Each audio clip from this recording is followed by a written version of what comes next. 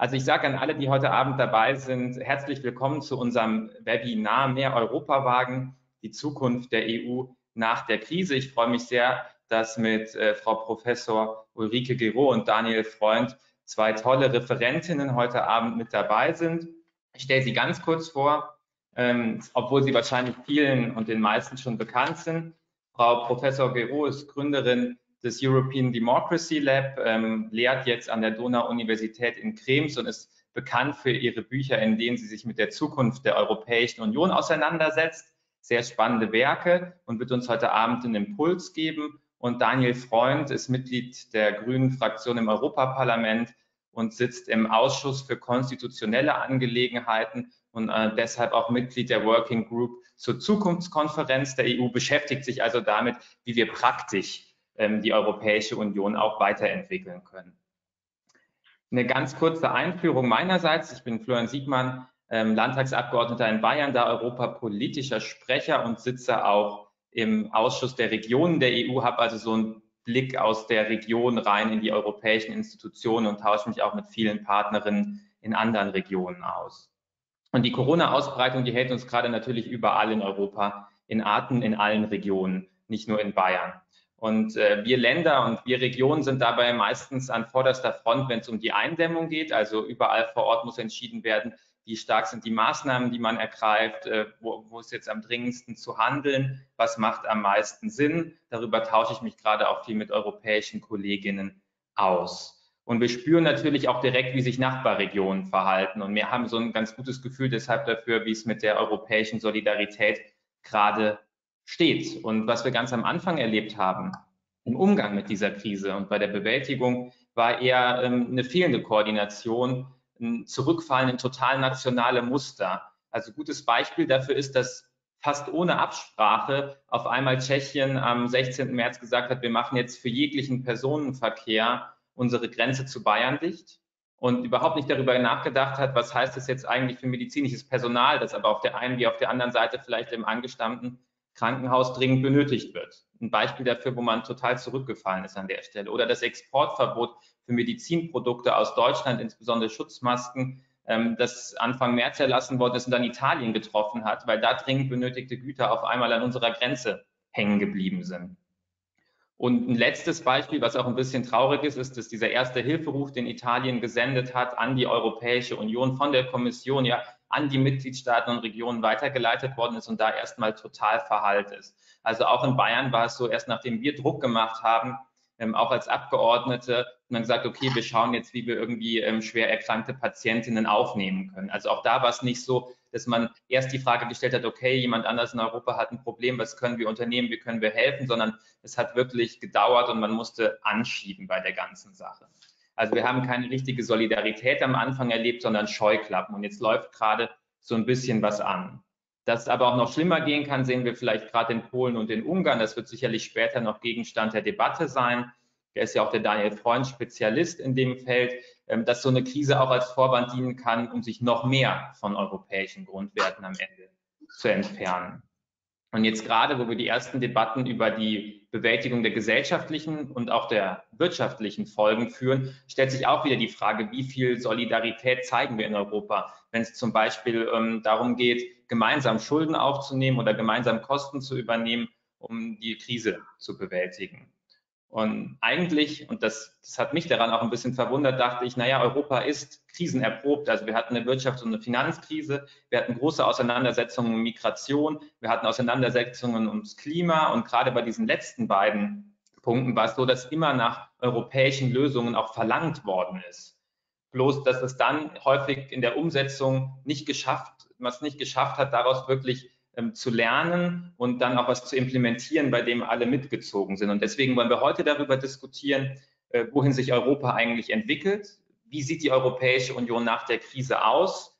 Lernt man daraus? Ist man in der Lage, danach stärker gemeinsam zu agieren? Und wie ist es um die Solidarität bestimmt? Und da würde ich jetzt gerne als erstes Ulrike Giro das Wort geben. Ja, liebe Zuhörer, dann mache ich jetzt mal meine Webcam an. Ja, hallo. Ähm, ich äh, freue mich, dass Sie oder ihr alle hier im Online-Format seid. Das ist ja jetzt die neue Mode. Ich muss sagen, ich tue mich immer noch ein bisschen schwer damit, weil man einfach keinen Augenkontakt hat. Und ähm, es ist, wenn man redet, immer ganz wichtig, dass man Leuten in die Augen gucken kann, weil ich dann meistens sofort merke, ob sie gelangweilt sind oder interessiert zuhören. Aber das vorab gestellt, ich, wurde, ich wurde gebeten, hier ein paar Impulsbemerkungen zu machen, 15 Minuten.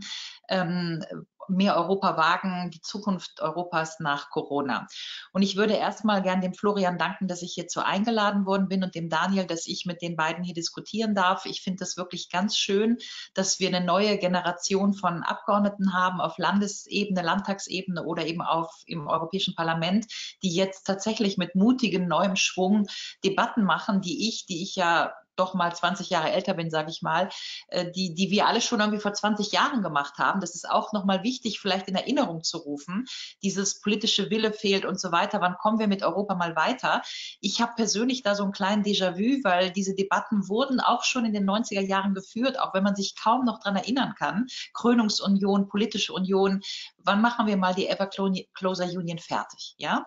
Und seither sind eigentlich 30 Jahre vergangen und wir haben in diesen 30 Jahren, und das soll jetzt mein, meine einsteigenden äh, Überlegungen sein, in diesen 30 Jahren haben wir das immer wieder eigentlich erlebt, dass wir äh, von Krise zu Krise geschlittert sind, gehofft haben, dass wir aus der Krise Lehren ziehen und dass wir nach der Krise in einem anderen, besseren, demokratischeren, sozialen Europa herauskommen. Ja? Ähm, deswegen würde ich als erstes mal gerne sagen wollen, ähm, die Beschreibung von Florian war ja völlig zutreffend. Wir hatten nationale Scheuklappen. Jetzt haben wir Herrn Orban, der die Krise zum Vorwand nimmt, äh, das Parlament zu auszuhebeln und so weiter. Ähm, aber noch mal einen Schritt zurück. Es ist ja nicht die erste Krise und es ist mir ganz wichtig zu betonen, in der wir als Europäer nicht stärker hervorkommen. Wir hatten 2015 die Geflüchtetenkrise, die uns in den letzten Jahren mürbe gemacht haben. Wir haben noch vor Corona, kurz vor Corona, Boote gehabt im Mittelmeer mit 40 Leuten und konnten die nicht auf die Europäische Union verteilen. Wir hatten wenige Tage vor Corona 500 unbegleitete Flüchtlinge in Lesbos und konnten die nicht einer europäischen Einigung zu führen. Aber nochmal einen Schritt zurück, auch die Bankenkrise 2008, 2009. Wir erinnern uns an den Satz von Angela Merkel, die deutschen Spareinlagen sind sicher, nicht etwa die europäischen Spareinlagen, obwohl jeder wissen konnte, dass die Banken so miteinander verflochten sind, dass es eben schwierig ist, nur die deutschen Spareinlagen zu sichern und nicht die anderen. Was will ich damit sagen? Wir machen nicht zum ersten Mal die Erfahrung, dass in der Krise Europa nicht handeln kann. Wir machen nicht zum ersten Mal die Erfahrung, leider, dass ähm, der nationale Reflex der kürzere und der bessere ist. Ich will ganz klar sagen, dass ich dem auch gar nicht äh, widerspreche, weil äh, Florian Siegmann ist äh, zu, also das ist ja richtig, dass sozusagen auch in Deutschland die kleinen Einheiten handeln müssen, ja, die Landräte, die lokale Feuerwehr und so weiter. Man weiß ja viel besser, was on the ground los ist, wenn man einfach vor Ort ist. Also ich möchte hier nicht einem europäischen Superstaat das Wort reden und auch nicht äh, irgendein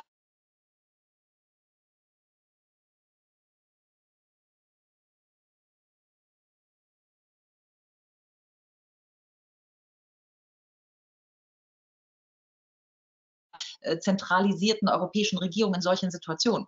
Und dennoch muss man sagen, dass wir natürlich Europa Souveränität zu geben. Wir wissen von Karl Schmidt, äh, souverän ist, wer über den Ausnahmezustand entscheidet. Wir haben diesmal wieder gesehen, dass im Ausnahmezustand die Nationalstaaten entscheiden. Die Nationalstaaten können Rettungspakete machen, Hilfspakete machen, Kurzarbeit veranlassen, die Grenzen schließen. Die Nationalstaaten können das alles. Frau Merkel konnte sich hinstellen, Herr Kurz, Herr Macron konnten diese Reden halten, teilweise noch im Parlament kurz durchge, ab, abgestimmt oder äh, eben in Ungarn auch nicht. Ähm, und trotzdem waren es nationalstaatliche Regelungen, die man nicht vorher koordiniert hat. Und das zeigt eigentlich das, und daran würde ich auch gerne erinnern dürfen, dass das, was Emmanuel Macron uns ja versucht hat, vor der Krise in sechs Reden zu sagen, nämlich Souveränität Europäen. Lesen Sie nochmal die Reden von Emmanuel Macron. Er hat sechs von diesen Reden gehalten in Athen, in Brüssel beim Karlspreis. In all diesen Reden versucht er eigentlich genau diesen Punkt zu machen. Wenn wir von Europa etwas erwarten, Solidarität oder auch Handlungsfähigkeit in der Welt, digitale Handlungsfähigkeit, Handlungsfähigkeit beim Klima, Handlungsfähigkeit in der Außenpolitik, whatever, wenn wir das wollen, dann müssen wir Europa souverän machen, bevor wir von Europa Solidarität erwarten können. Das ist, ich vergleiche es immer mit so einer Klettersprosse äh, bei so einem Klettergerät, ja, wo die Kinder an die nächste Sprosse wollen. Die nächste Sprosse kann man nur greifen, wenn die Sprosse als solche stabil ist. Sonst bleibt man an der Sprosse hängen. Der Nationalstaat, die halt jetzt stabil ist, und da weiß man, da ist man gut aufgehoben, die kann handeln. Und wenn es hier in diesem Webinar darum geht, zu diskutieren, mehr Europa wagen, die Zukunft der EU nach der Krise, wird das die entscheidende Frage sein rufen wir nur nach Solidarität in der Krise und sehen dann wieder, oh, die bleibt aber aus? Oder realisieren wir, dass wenn wir Solidarität in der Krise wollen, wir die EU institutionell anders aufstellen müssen, effizient machen müssen, handlungsfähig machen müssen. Nicht unbedingt im Sinne eines Zentralstaates, aber zum Beispiel gucken wir jetzt mal auf den Corona-Vorfall im Sinne der Tatsache, dass wir zum Beispiel realisieren, das hat Florian Siegmann ja ausgeführt, dass die Grenzschließung einfach keine appropriate solution war. Im Grunde hat man sich damit ins Knie geschossen, übrigens nicht nur in, zwischen der bayerisch-tschechischen Grenze, auch in diesem Drei-Länder-Dreieck Luxemburg, Deutschland, Frankreich Frankreich, wo dann französische Krankenschwestern nicht mehr nach Luxemburg in ein Krankenhaus gekommen sind. Und damit bin ich im Grunde bei dem zweiten zentralen Punkt ähm, dessen, was mein Impuls sein soll. Also der erste war, keine Solidarität ohne Souveränität.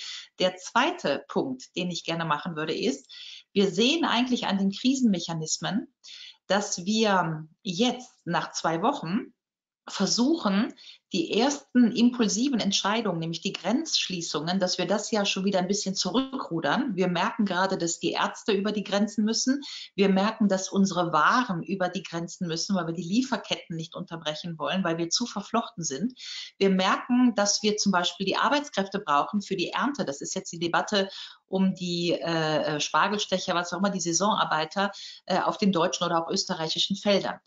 Das heißt aber, und das führt mich genau zum Thema, was sollten wir denn wünschen für das Europa nach der Krise?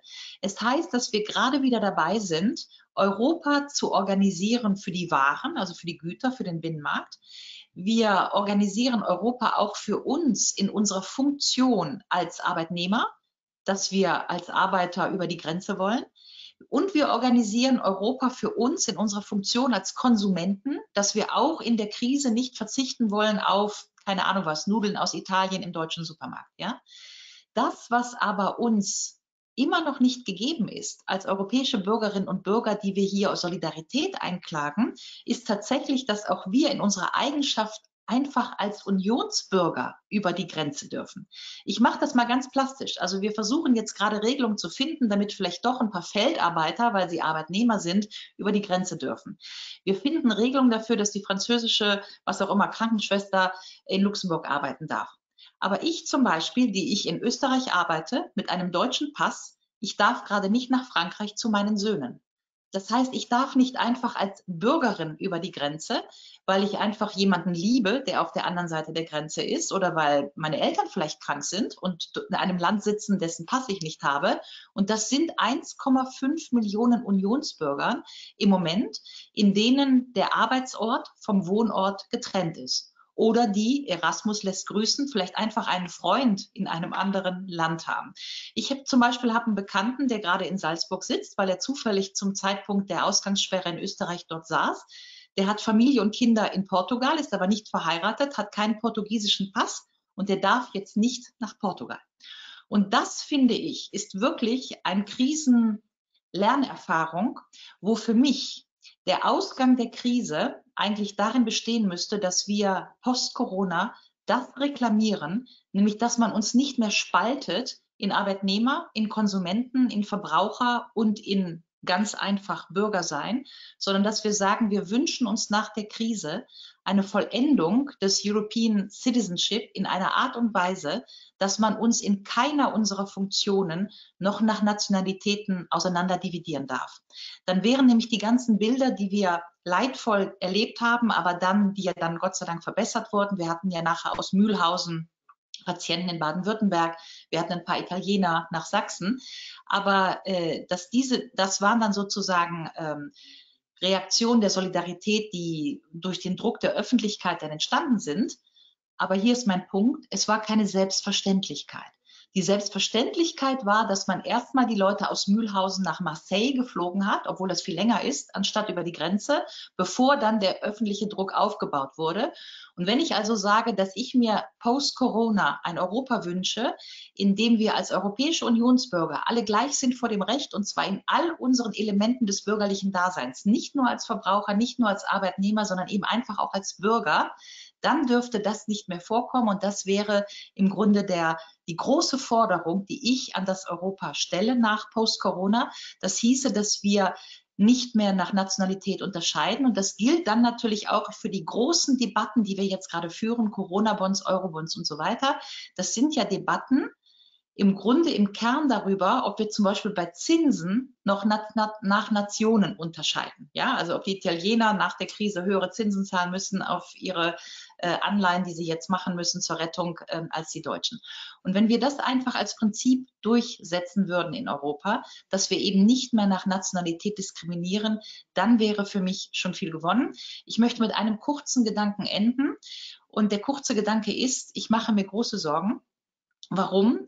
weil ich beobachte, dass über die letzten 70 Jahre, wir haben ja angefangen 1950 mit der EGKS und dann der gemeinsame Binnenmarkt, Euro und so weiter, die ganzen Entwicklungsstufen 70 Jahre. Wenn man das historisch sich anguckt, dann kann man den Punkt machen, den ich jetzt für die Diskussion machen möchte, dass es offensichtlich möglich war, in früheren Epochen der europäischen Integration, dass wir tatsächlich aus Krisen gelernt haben und dass wir tatsächlich zu Beginn aus jeder Krise europäischer hervorgegangen sind, weil wir vergemeinschaftet haben, was uns vorher gefehlt hat. Die Europäische Gemeinschaft für Kohle und Stahl ist ja nichts anderes, als dass wir gesagt haben, nie wieder Krieg. Und deswegen vergemeinschaften wir jetzt Kohle und Stahl, dann kann keiner mehr einen Panzer bauen.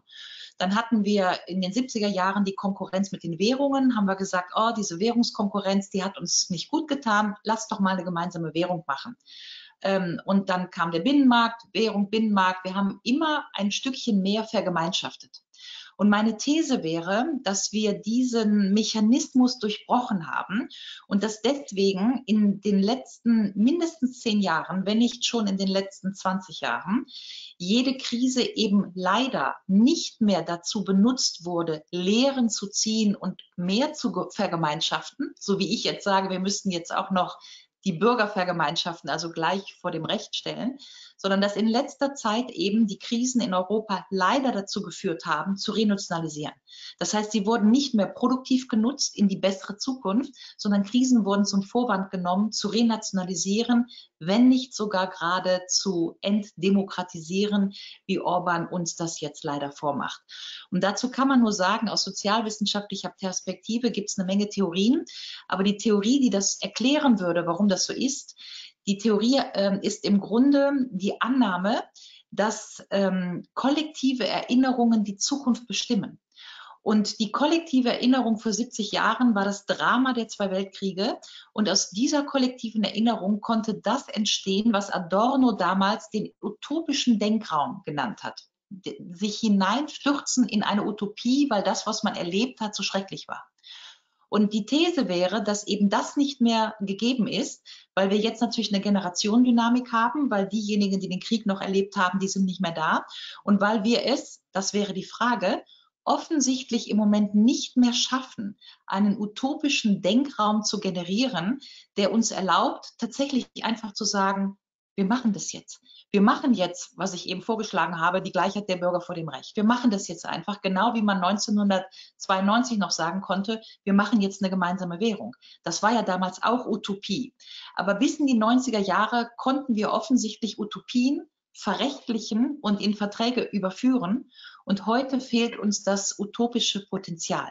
Und der Grund dafür könnte sein, dass wir inzwischen mit Generationen auf diesem Kontinent sind, die zu viele kumulierte Enttäuschungen von Europa haben. Denn wir dürfen ja nicht vergessen, dass auch wenn wir ganz gut durch die Krise bekommen sind, wir Deutsche, ja, wir Bayern, wer auch immer, dass es natürlich in Südeuropa inzwischen ganze Alterskohorten von jungen Leuten gibt, die von Europa nur enttäuscht wurden und dass man auf Enttäuschung kein utopisches Potenzial von einem besseren Europa bauen kann, das wäre die offene Frage, die ich jetzt in die Runde gebe, denn unser Thema heißt ja die Zukunft der EU nach der Krise. Ich danke fürs Zuhören. Vielen Dank. Und und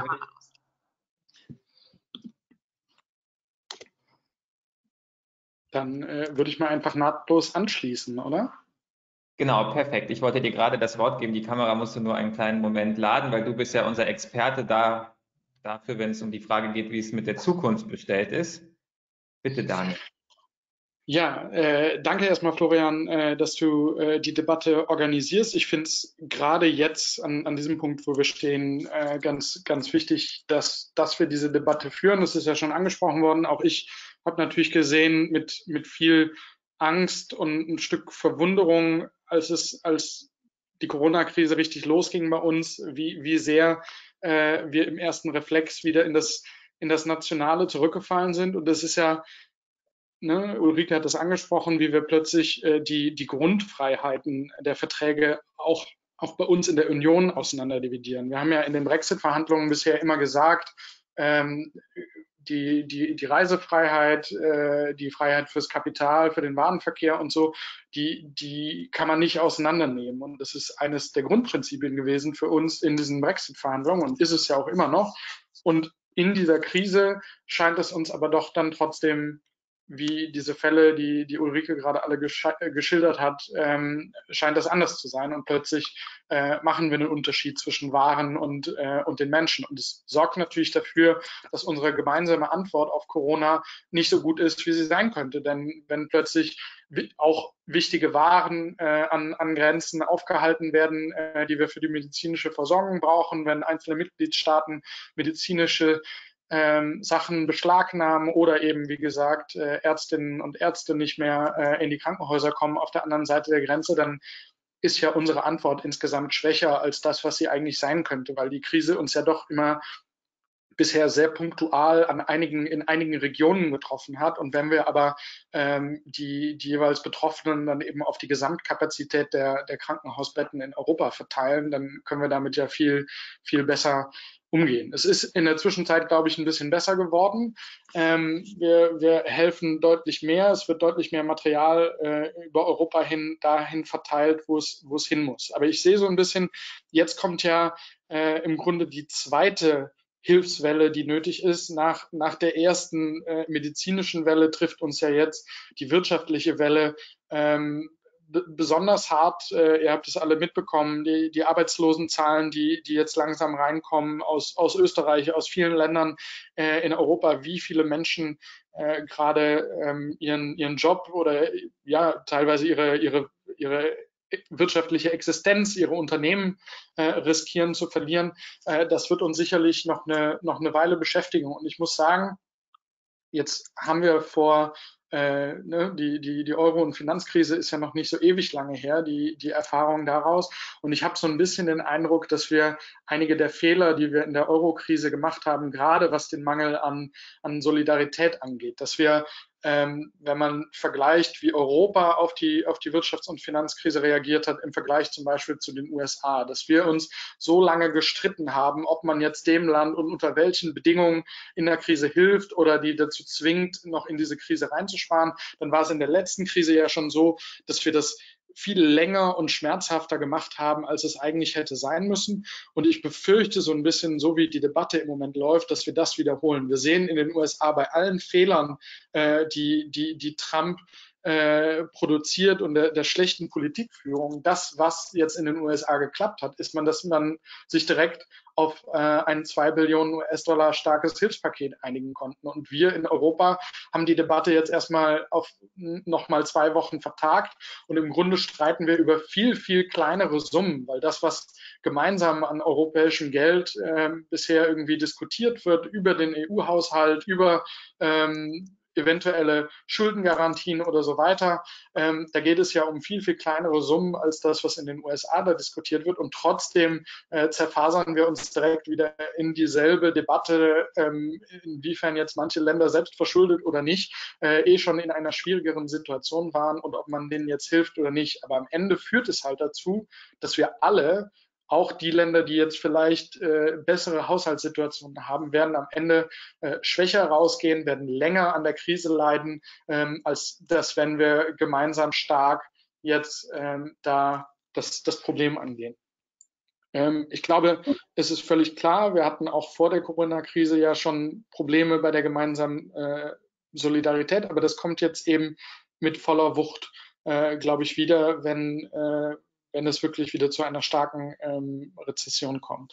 Ich glaube, dass wir genau deshalb, und deshalb bin ich auch Florian so dankbar, dass wir die Debatte heute führen, dass wir deshalb, ähm, sobald es jetzt äh, in, in den Bereich geht, dass wir das Schlimmste der, der, der Erkrankungen über, überwunden haben. Also, und es sieht ja so ein bisschen danach aus, dass wir diese oder spätestens nächste Woche, wenn, wenn alles gut geht, in, in vielen europäischen Ländern sozusagen den Peak der, der, der Neuinfektionen vielleicht erreichen können und, und die Situation langsam unter Kontrolle kriegen, ähm, dass wir dann jetzt eine Debatte darüber führen, ähm, wie, wie wir in Europa einigermaßen wieder besser zusammenarbeiten äh, können, wie wir mehr, hinkommen zu mehr Solidarität, äh, welche Sachen wollen wir gemeinsam machen und auch natürlich gerade die Frage, mit wie viel Geld wir das gemeinsam machen wollen. Wir hatten ja bis kurz also bis in den Anfang jetzt der, der, der, der Corona-Krise waren wir ja mitten in den, in den Haushaltsdebatten für den nächsten mehrjährigen Finanzrahmen.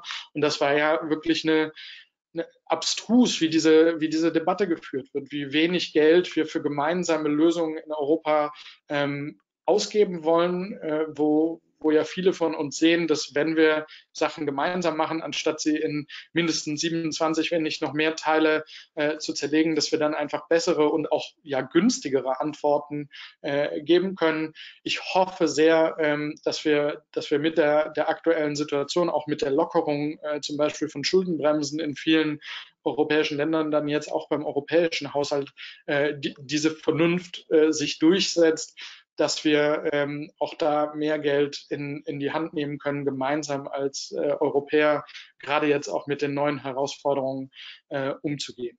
Ähm, Ulrike hat es schon an, angesprochen, ähm, die Situation in Ungarn. Es gibt ja in einer ganzen Reihe Mitgliedstaaten Situationen, wo, wo im Moment Regierungen quasi das die, die Notsituation ausnutzen, äh, Maßnahmen durchzubringen, die überhaupt nichts mit dem Kampf gegen, gegen Corona zu tun haben, sondern mit dem Kampf gegen die Demokratie oder gegen unliebsame äh, Opposition. Ich halte das für eine Riesengefahr ähm, für, für die EU. Wir haben ja gerade in Ungarn äh, eine, eine Situation, wo das eben auch schon sehr, sehr lange läuft. Äh, Orban baut seit zehn Jahren an der illiberalen Demokratie in in Ungarn. Und ich glaube, es ist wirklich Zeit mit diesen Notstandsgesetzen, die er da diese Woche ähm, beschlossen hat und mit den Gesetzen, die er jetzt direkt äh, 48 Stunden später nachgelegt hat, ist für mich so ein bisschen die, also ist die Grenze wirklich überschritten, wo, wo, wo was passieren muss. Und ich glaube, die, die Reaktion der EU muss jetzt sehr klar sein. Ähm, man muss auf der einen Seite Vertragsverletzungsverfahren einleiten, weil ähm, ich wirklich der Meinung bin, dass ähm, dass die, die Gesetze, die da beschlossen wurden, also nichts mehr mit den Grundwerten äh, der EU zu tun haben. Und ich glaube auch, ähm, dass die EU ähm, jetzt Ungarn äh, die, die Gelder kürzen muss. Und es gibt ja, also wir verhandeln ja im, im ähm, im, im Rat und auch das Parlament hat dazu ja noch in der letzten Legislatur einen Vorschlag gemacht für diesen Rechtsstaatsmechanismus. Aber es gibt auch in den aktuellen Regeln, zum Beispiel für die Strukturfonds, schon Möglichkeiten, Gelder einzufrieren, wenn das Management und auch die Kontrolle dieser Gelder nicht mehr normal gewährleistet ist. Und ich finde, ähm, es ist jetzt keine, keine über übertriebene Interpretation, dass wenn ein Parlament seiner Kontrollfunktion gegenüber der Regierung nicht mehr normal nachkommen kann, weil es eben auf unbestimmte Zeit äh, quasi umgangen wird jetzt in Ungarn, äh, dann zu sagen, dass die normalen Kontrollmechanismen nicht mehr funktionieren und dass man deshalb äh, dann die Zahlung von Strukturfonds nach Ungarn aussetzt, finde ich normal. Und es ist eben das, glaube ich, einzige Werkzeug, was am Ende äh, wirklich verstanden wird in Ungarn. Deswegen äh, kann ich euch alle nur ermutigen, äh, unterzeichnet bitte unseren gemeinsamen Aufruf äh, dafür, dass wir, dass wir da Druck auf die Kommission machen. Ähm, ich würde mit dem letzten Punkt schließen. Äh, Ulrike hat gesagt, äh, wir, wir, haben eventuell aus den letzten Kli Krisen nicht mehr äh, dieses Integrationsmomentum danach genutzt. Und ich würde es vielleicht einen Ticken positiver sehen, weil klar haben wir, gerade auch wir Grüne, uns ja viel, viel mehr noch gewünscht an, ähm, an Antwort auf die Euro- und Finanzkrise. Aber ich würde schon sagen, dass was wir äh, an Bankenunion und an gemeinsamen Antworten äh, aus der letzten Krise gelernt haben, würde ich schon noch als positiven Beitrag zur europäischen Integration werten.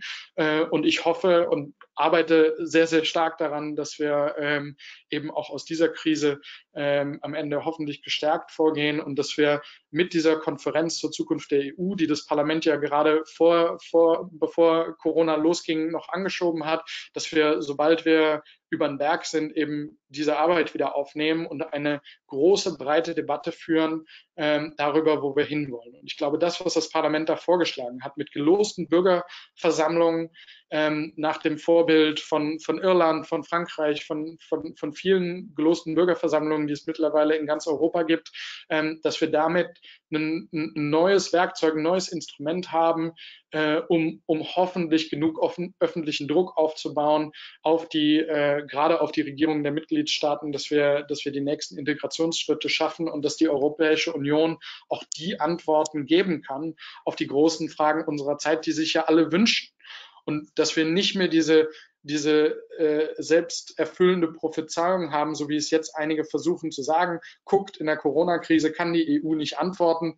Ja, natürlich kann sie nicht antworten, weil man ihr nicht die Zuständigkeit, das Geld, äh, die Werkzeuge gegeben hat, um zu antworten. Aber dass wir diese, äh, diese Barriere überkommen und, äh, und in Zukunft äh, die, die Union eben auf diese kontinentalen Herausforderungen wirklich äh, adäquat reagieren kann.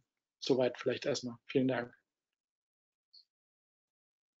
Ich habe mir erlaubt, in der Zwischenzeit schon mal ein bisschen die Fragen ähm, zu clustern. Also ganz kurz zur Erklärung, ihr habt zwei Möglichkeiten. Ihr könnt schriftlich eine Frage stellen, ähm, dann über das Fragentool, dann kriege ich die hier und kann die ein bisschen sortieren und in die Debatte einspeisen. Und wir machen gleich zwischendurch auch nochmal eine Runde, wo wir für Leute das Mikro freischalten damit Sie selber Ihren ähm, dis kleinen Diskussionsbeitrag die Frage vorstellen können. Da würde ich aber jetzt schon mal alle bitten, zu gucken, dass Sie Ihr Handzeichen ausmachen, wenn Sie nichts sagen wollen gleich und nur die es anlassen oder anmachen, die ein Interesse haben, ähm, auch übers, ähm, äh, übers Mikro was beizusteuern. Aber jetzt erstmal aus den Fragenblöcken, die ich schriftlich bekommen habe. Und zwar ähm, kam von Julius die Frage, was kann man für ein souveränes Europa eigentlich noch tun? Und Rosemarie ergänzt, braucht die EU nicht, vielleicht auch im übertragenen Sinne, eine Werbekampagne? Vielleicht gerade bei den Staaten, die nach der Wirtschafts- und Finanzkrise gespürt den, den Spardruck gespürt haben und wenig von der EU gekommen ist, außer Auflagen. Damit würde ich vielleicht als erstes Richtung Ulrike gehen.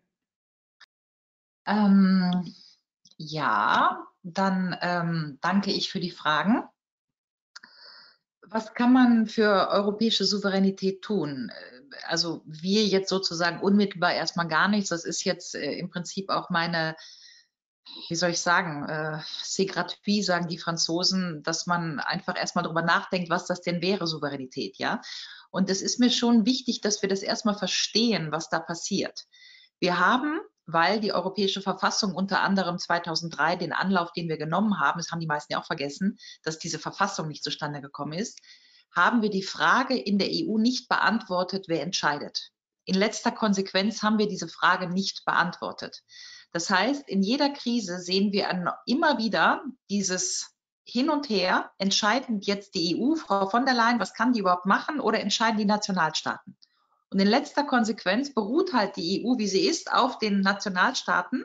Und im Zweifelsfall, wenn die sich nicht einigen, entscheiden die Nationalstaaten wieder alleine, weil die Frage der Souveränität ungeklärt ist. Und was das Problem unserer Diskussion ist, ist, dass wir das immer so diskutieren. Entscheiden jetzt entweder die Nationalstaaten oder die EU. Mein Plädoyer wäre, dass wir uns in den nächsten Monaten der Diskussion, weil ich auch der Meinung bin von Daniel, dass wir diese Diskussion über die Zukunft der Europäischen Union jetzt brauchen, dass wir erstmal verstehen, dass weder die Nationalstaaten noch die EU souverän sind, sondern souverän sind am Ende immer nur wir, wir die Bürger. Wir die Bürger sind der Souverän. Wir sind auch der, also um es mal ganz theoretisch zu formulieren, wir sind auch der Souverän der Bundesrepublik Deutschland. Auch wenn Sie und ich jetzt selber nicht 1949 die Bundesrepublik mitgegründet haben, aber letzter Konsequenz sind wir der Souverän und nicht Frau Merkel. Ja? Und äh, wenn wir das verstehen würden, dann würden wir vielleicht herauskommen aus dieser Spur, dass wir immer nur entweder EU oder Nationalstaat, sondern wir sagen, okay, wir sind 500 Millionen europäische Bürger. Dann ist die Frage, wenn wir der Souverän sind, wie organisieren wir die europäische Demokratie? Wie schaffen wir Repräsentation im System? Wie schaffen wir Partizipation im System? Wie schaffen wir Macht und Kontrolle im System, so wie wir das in jeder Demokratie machen? Dann diskutieren wir aber was ganz anderes, als ständig dieses Tauziehen zwischen Nationalstaat und Europa. Und ich fände es schon wirklich sehr viel gewonnen, wenn wir das auch im Sprachgebrauch übernehmen könnten und wenn wir in diese Konferenz zur Zukunft der Europäischen Union das übersetzen könnten. Denn am Ende des Tages, wenn man das zu Ende denkt, dann äh, würden wir wahrscheinlich erkennen, dass wir ähm, im Grunde in den derzeitigen Strukturen der Europäischen Union vermeintlich von einem Europäischen Rat ähm, regiert werden, aber im Grunde wir als Bürger nichts entscheiden. Und wenn wir das erkennen würden, dann könnten wir ja zum Beispiel die Forderung erheben, dass der Europäische Rat weg muss. Warum? Weil er in ganz vielen zentralen Fragen uns als Bürgerinnen und Bürger Europas, also uns, den Souverän, nicht mehr angemessen repräsentiert. Ich mache es mal ganz beispielhaft. Wir haben belastbare sozialwissenschaftliche Untersuchungen, dass Mehrheiten, nach Ländern unterschiedlich, aber Mehrheiten zum Beispiel für eine europäische Arbeitslosenversicherung sind. Würden wir also ein Parlament haben, was diese Mehrheiten angemessen abbildet, würden wir eine europäische Arbeitslosenversicherung entscheiden können in Brüssel oder Straßburg. Wir entscheiden das aber im Moment im Europäischen Rat. Und da spielen wir natürlich Staaten gegen Staaten. Die Deutschen, die dann sagen, wir zahlen für die Italiener nicht und die Niederländer und die Österreicher, die sich hinter den Deutschen verstecken. Und deswegen haben wir im Prinzip eine Krise der Repräsentation. Und wenn wir über die Frage der Souveränität angemessen nachdenken würden und den Paradigmenwechsel so hinbekommen würden, wie ich das versucht habe zu skizzieren, dann wäre in den nächsten zwei Jahren wahrscheinlich schon viel gewonnen, weil ich tatsächlich felsenfest davon überzeugt bin, Thoughts become Words, become Action, become Reality. Wir müssen das aussprechen, was wir wollen. Ja, und in dem Moment, wo wir sagen, wir wollen europäische Souveränität als Bürgerinnen und Bürger Europas, wird sich was in der Debatte ändern. Davon bin ich fest überzeugt. Die zweite Frage mache ich ganz kurz. Brauchen wir eine Werbekampagne? Nein, brauchen wir nicht. Ich bin keine Ahnung, ich bin nicht so ein Freund von Werbung, ganz egal ob für Waschmittel oder für die EU. Ähm, das ist nicht so mein Ding. Ich bin, äh, ist meine persönliche Meinung, ja, aber als Politikwissenschaftlerin würde ich sagen, wir brauchen Macht.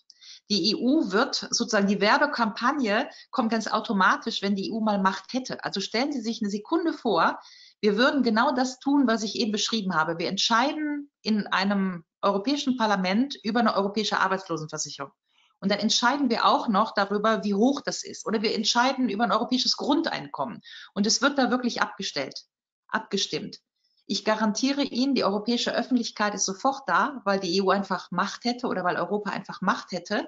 Und in dem Moment brauchen wir gar keine Werbekampagne. Die Bildzeitung würde wahrscheinlich in zehn verschiedenen Sprachen erscheinen, ja, um das abzuwenden, dass es ein europäisches Grundeinkommen gibt. Und darüber würde die Debatte sozusagen durch die, Habermas würde sagen, die normative Kraft des Faktischen entstehen. Wir bräuchten Europa gar nicht zu bewerben, weil es einfach da ist. Das fände ich eigentlich den schöneren Traum für Europa nach der Krise. Da bin ich ganz bei Ulrike. Lass uns lieber das Produkt äh, besser machen als, äh, als äh, eine, eine, Werbekampagne für, für, für ein Produkt, was noch nicht äh, völlig so gut ist, wie es vielleicht sein könnte.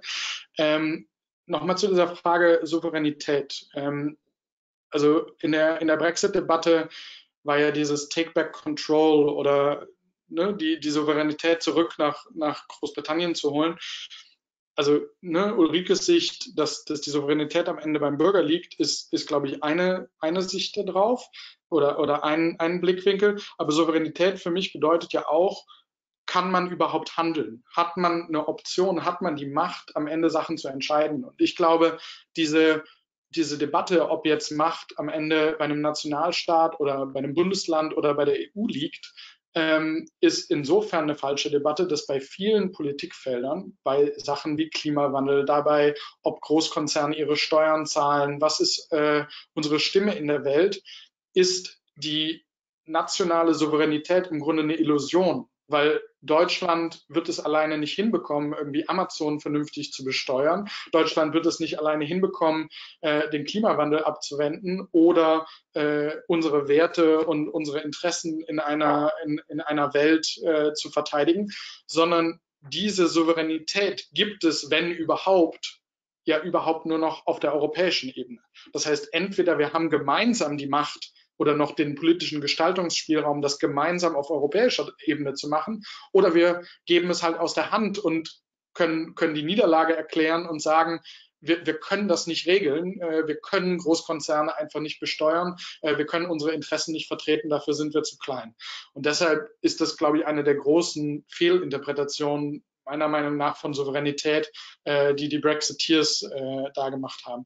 Das, den zweiten Punkt, ähm, mit dem, mit dem Rat. Ich glaube, also ich würde noch einen Schritt weitergehen, dass, dass da ja wirklich ein, das Problem der europäischen Demokratie liegt im Grunde hauptsächlich im Rat, weil das Europäische Parlament ist direkt von den, von den Bürgerinnen und Bürgern gewählt, aber keine nationale Regierung ist doch für ihre Europapolitik gewählt. Also im, in, in, nationalen Wahlen spielt doch das, was man dann im Zweifel als Regierung vier oder fünf Jahre lang an Europapolitik macht, oft überhaupt keine Rolle. Und man, man schreibt ja selbst, selbst wir als Grüne schreiben ja für die Bundestagswahl ein, ein Wahlprogramm, was sich rein auf das bezieht, was wir dann als ne, im Bundestag an, an Bundespolitik machen, aber nicht darauf, was wir bei einer eventuellen Regierungsbeteiligung dann die vier Jahre lang im, im, im Europäischen Rat und im Rat der Europäischen Union an Politik machen.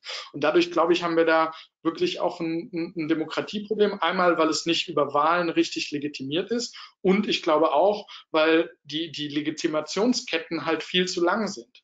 Weil wenn man das mal konkret durchgeht, wir wählen in Deutschland ja unsere Bundestagsabgeordneten, die wählen dann in dem zweiten Schritt die Bundeskanzlerin, die äh, bastelt sich äh, ihre Regierung mit den Ministern, die überwachen ein Ministerium und dieses Ministerium entsendet dann jemanden in eine Ratsarbeitsgruppe, wo dann entschieden wird, äh, welche Chemikalie genau wie reguliert wird oder, äh, oder was jetzt genau die Standards für Staubsauger oder Plastiktüten oder was auch immer sind.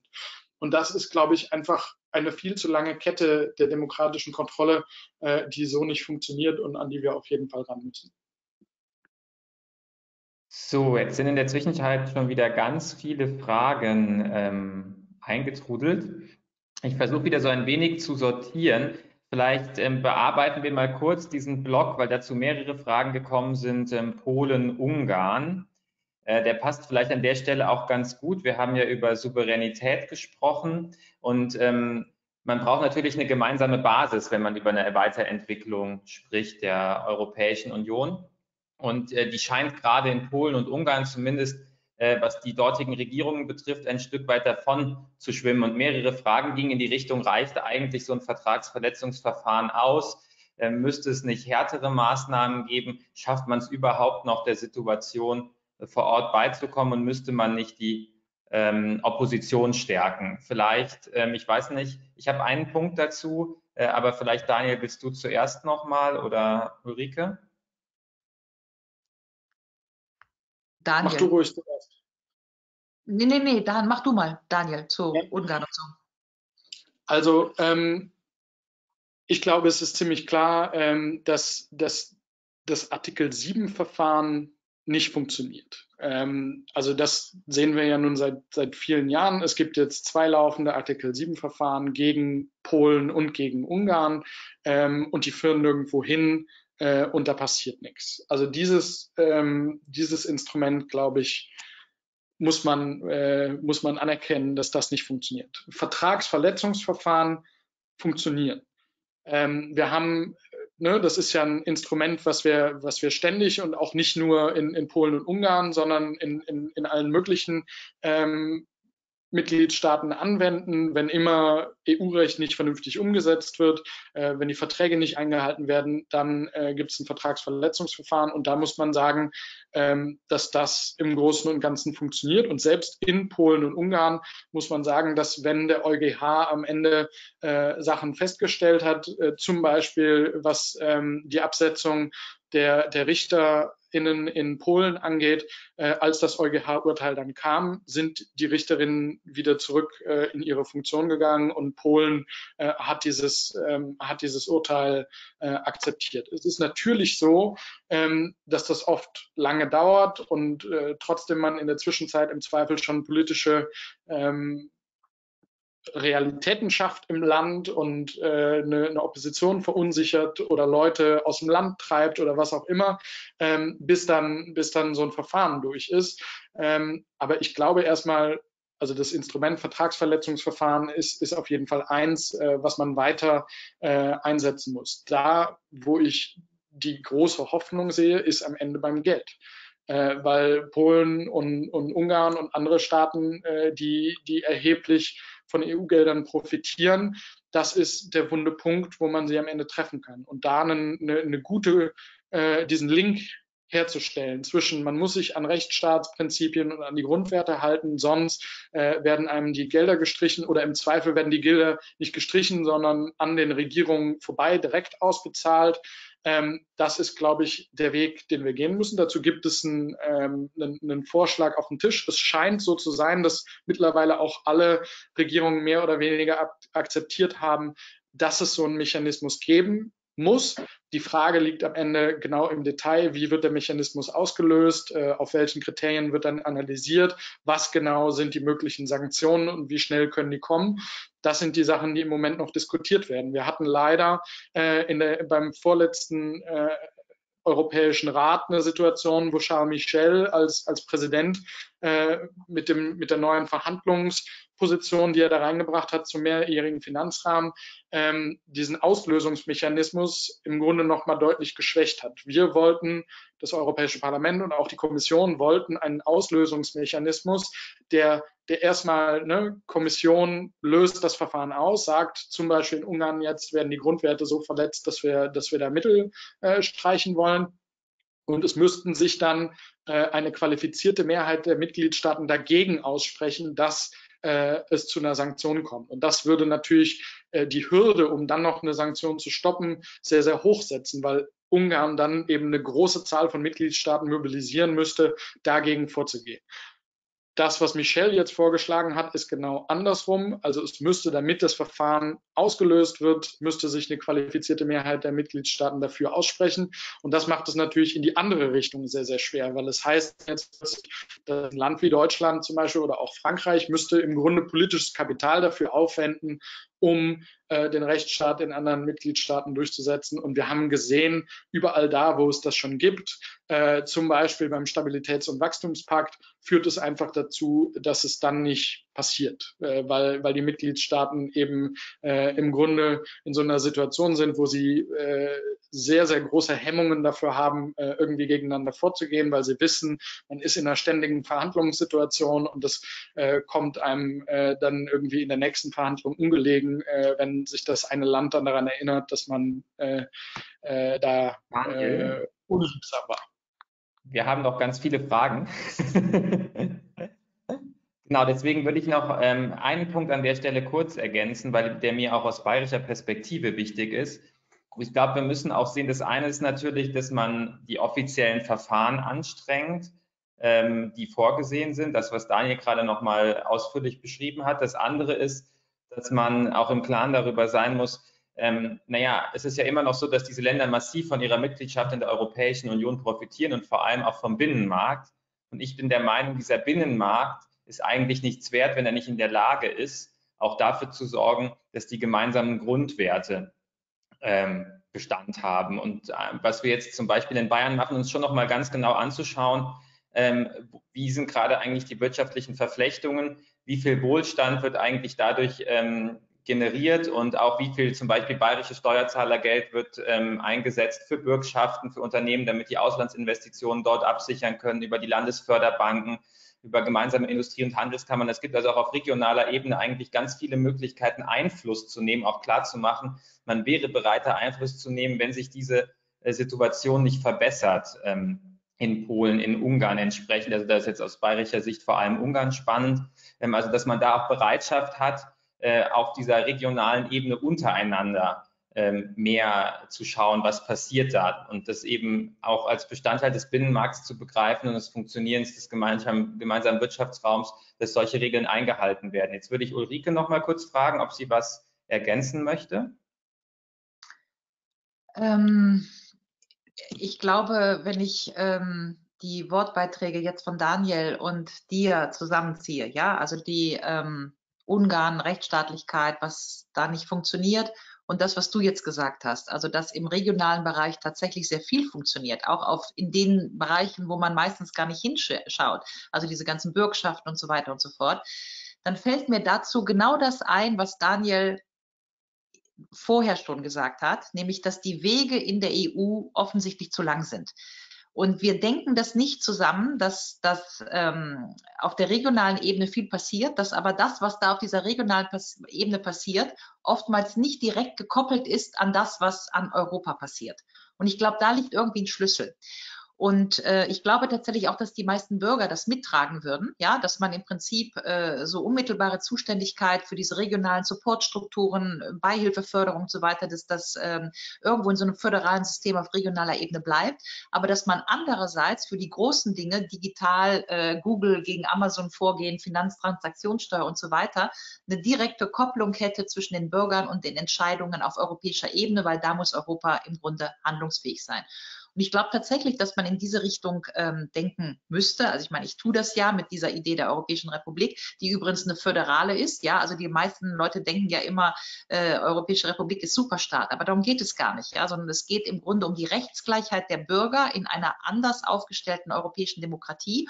Und Rechtsgleichheit heißt nicht Zentralismus. Das muss man wirklich verstehen. Wir sind auch in der Bundesrepublik, sind wir nicht ähm, zentralistisch aufgestellt.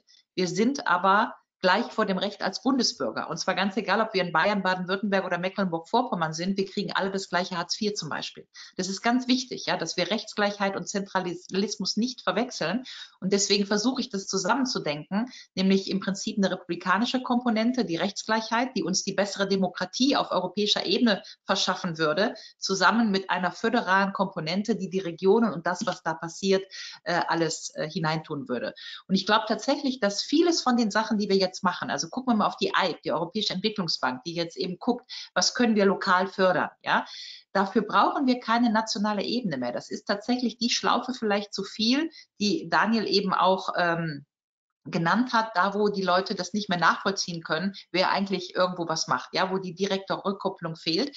Ich würde mir wünschen, dass wir da in Zukunft ein bisschen mehr hinschauen, weil da scheint mir tatsächlich ein, ein, äh, nicht nur ein kleines Geheimnis oder ein Schlüssel zu liegen, wie wir nach der Krise da besser rauskommen. Ich glaube sogar, dass die meisten Bürger dafür ähm, mitgenommen werden können, wie es heute so schön heißt, ja, weil sie würden nämlich genau das sehen, dass sie entscheiden können, da wo sie sind, aber gleichzeitig einen direkten Hebel äh, auf die europäische Entscheidungsebene haben. Super, vielen Dank. Jetzt ähm, gehen wir in eine Runde Handzeichen rein. Ähm, es haben sich ganz, ganz viele gemeldet. Seid bitte nicht böse, ähm, wenn ihr nicht zum Zug kommt. Und wir haben auch noch über 20 Fragen, die ähm, gestellt worden sind, teilweise sehr ausführlich. Wir werden also nicht alles schaffen. Aber ich gucke jetzt mal, ob ich den Andreas Tilker ähm, freischalten kann. Andreas, hörst du uns? Kannst du sprechen? Schalte dein Mikro ein. Ja, ich höre euch. Wunderbar, dann hast du jetzt die Gelegenheit, kurz deinen Beitrag einzuspeisen. Ja, meine Frage, die ich dir geschickt habe, äh, war, wie kriegen wir den rasenden Finanzkapitalismus entschleunigt? Denn äh, alles dreht sich ums Geld und das, was zurzeit passiert, scheint mir, äh, dass gerade in dieser Krise, dass niemand in der Politik mal die Börse stoppt und sagt, halt, stopp, wir lassen nicht mehr zu, dass hier Leute aus so einer Krise noch Profit schlagen. Und äh, da würde ich mich äh, für interessieren, was für Möglichkeiten seht ihr denn, was für Visionen? Und für mich war der Be Beitrag oder der, der Gedanke wirklich entscheidend. Was für Visionen entwickeln wir denn jetzt, äh, um nicht nur in dem Klein-Klein hängen zu bleiben, wie, äh, wie man institutionell da kleine Schräubchen dreht? Okay, super, danke. Ähm, ich schalte dich jetzt wieder stumm, damit wir haben also eine Frage reinbekommen. Ich würde vielleicht noch was dazu ziehen, was eben auch ähm, über die Fragen reingekommen ist, über die schriftlichen. Und zwar, ähm, wie ist es denn, sorgt die Krise vielleicht dafür, dass wir in Europa stärker jetzt auch wieder den Wert öffentlicher Güter begreifen, wie die Stabilität des Gesundheitssystems, was ja in Teilen unter der Nach Wirtschaftskrisenpolitik der EU oder der Mitgliedstaaten auch gelitten hat. Das würde ich vielleicht als erstes an Ulrike ein Stück geben. Ja, äh, ich versuche das ganz kurz zu machen. Ich glaube, wir haben uns noch nicht entschieden, als Gesellschaft noch nicht, als in Europa noch nicht, ob wir eine Strategie haben, die darauf abzielt, dass wir durch die Krise möglichst gut durchkommen und das alles abstützen, abfedern, was auch immer wir da jetzt machen, mit der Perspektive, dass wenn alles vorbei ist, es wieder so wird wie vorher. Ja, ich habe das Gefühl, dass ein Teil der Öffentlichkeit noch das denkt, dass wir jetzt da irgendwie durchkommen, das alles stabilisieren und am Ende wird alles wieder normal, wird alles wieder hochgefahren. Ja, das ist ja auch so, wie es jetzt erzählt wird. Dazu müsste man dann fragen, ähm, war das, was wir vorher gemacht haben, normal? Oder war das, was wir vorher hatten, letal? Wir hatten ja jetzt gerade die Frage, äh, dieser Finanzkapitalismus, muss man das nicht mal beenden? Ja, und äh, ich weiß das nicht. Und ich glaub, halte das für eine im Moment offene Frage, ob wir uns darauf verständigen, dass wir irgendwie durch die Krise wollen, um ein System wieder hochzufahren. Und dann müssten wir die Frage beantworten, war das System vorher eigentlich gut und haben wir einen Veränderungswunsch? Oder aber einigen wir uns jetzt darauf, und das war jetzt die Frage nach den öffentlichen Gütern und so weiter, dass wir sagen, wir machen gerade so eine krasse Erfahrung, dass Finanzmarktkapitalismus, Privatisierungen und so weiter, dass das alles nicht funktioniert und dass es uns in diesem Moment auf die Füße fällt und wir ziehen daraus die Lehre, dass wir die Wirtschaft umbauen zu, sagen wir mal, organischeren Formen des Wirtschaftens. Das ist ja auch unser europäisches Kulturgut, ja, die Genossenschaft, die Gemeinnützigkeit, die Respublika, die Communitas, die Pacht anstatt Eigentum. Also wir haben ja jede Menge gemeinwohlökonomische, katholische ökologische Soziallehre Formen von anderen Wirtschaften auch als ideologische oder ideelle Grundlage auf diesem Kontinent. Die sind alle ein bisschen verschütt gegangen. Ich sehe das wie Sie, dass wir das im Moment gerade wieder aktivieren und sagen, oh Gott, oh Gott, was haben wir denn da gemacht? Ändern wir das? Aber die Frage bleibt, haben wir und generieren wir aus dieser Krise genug Veränderungspotenzial? Das, was sich mir scheint, ist, dass Sie die eine Seite der Debatte darstellen, die sagen, ja, wir wollen das jetzt alles besser machen. Ich gebe mal ein konkretes Beispiel. In Portugal, ja, gibt es im Moment 33 öffentliche Krankenhäuser und 50 Privatkliniken. Die 50 Privatkliniken haben alle zugemacht und ihr Personal entlassen, weil die im Moment keine Operationen durchführen können, die nicht mit Corona verbunden sind und an denen man Geld verdienen kann. Das heißt, ganz Portugal lebt jetzt von 33 Krankenhäusern. Ja? Und daraus könnte man die Lehre ziehen, dass man nach der Krise sagt, nein, das Gesundheitssystem muss wieder verstaatlicht werden oder äh, Anstalten des öffentlichen Rechts werden. Und das machen wir dann europaweit und das stabilisieren wir europaweit. Oder man kann eben sagen, nach der Krise ist alles wieder wie zuvor. Ich weiß das nicht. Das Einzige, was ich sehe und beobachte, ist, dass wir im Moment das wirklich wahnsinnig strittig diskutieren.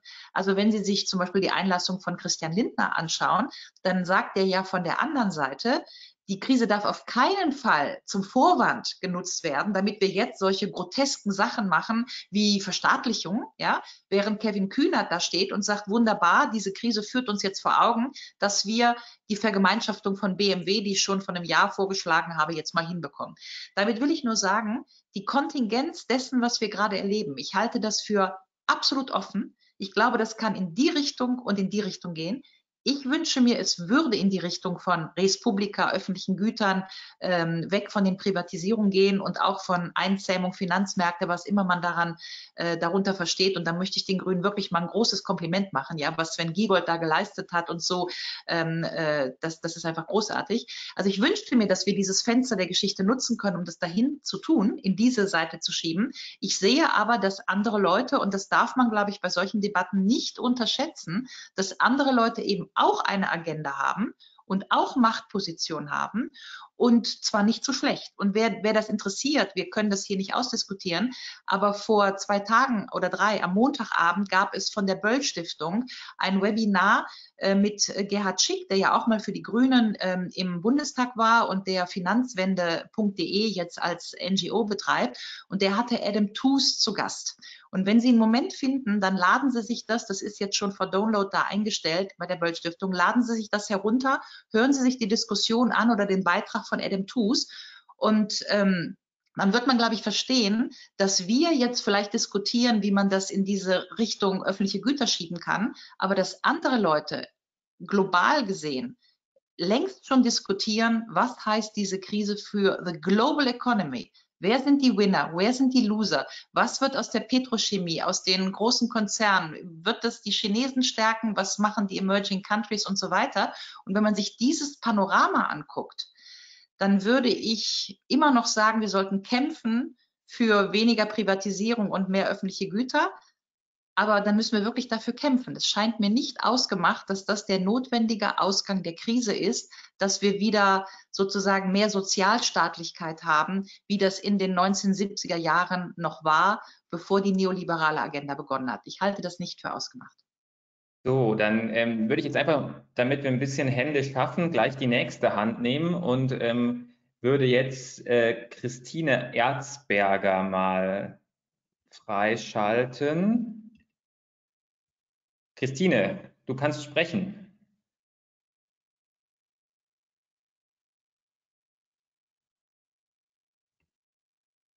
Okay, ich mache einfach weiter mit dem äh, nächste in der Liste. Wäre Elisabeth Mandel-Behnke, dann versuchen wir dich. Elisabeth? Jetzt hast du dich wieder stumm geschaltet.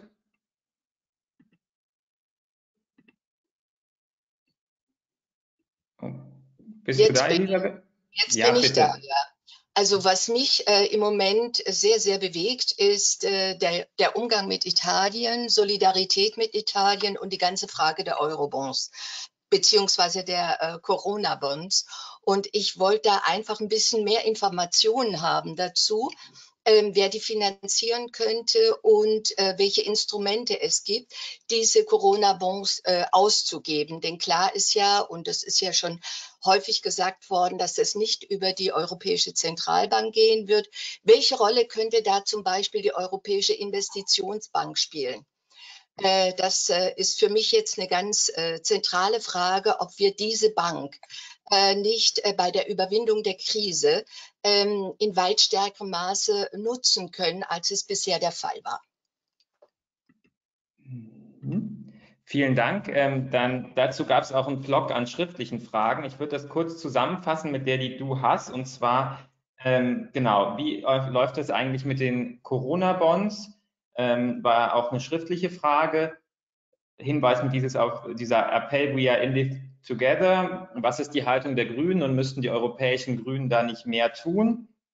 Sollten die Bonds einen Einfluss oder sollten die nicht so ausgerichtet sein, dass man, wenn man auf Wiederaufbau von Wirtschaft setzt, auch soziale und ökologische Kriterien in den äh, Vordergrund stellt? Und das letzte, vielleicht ein bisschen kritische Nachfrage ähm, ist das nicht eigentlich alles zu viel Utopie? Und zum Erklären, wie der Stand auf europäischer Ebene ist, würde ich am ersten an Daniel weitergeben. Genau, also ähm, viele, viele von uns europäischen Grünen zu, zusammen mit ähm, vielen italienischen Politikern und vielen, vielen Wirtschaftsprofessoren haben ja heute genau diesen, äh, diesen Appell gestartet ähm, für mehr Solidarität und für äh, gemeinsame äh, Corona-Bonds.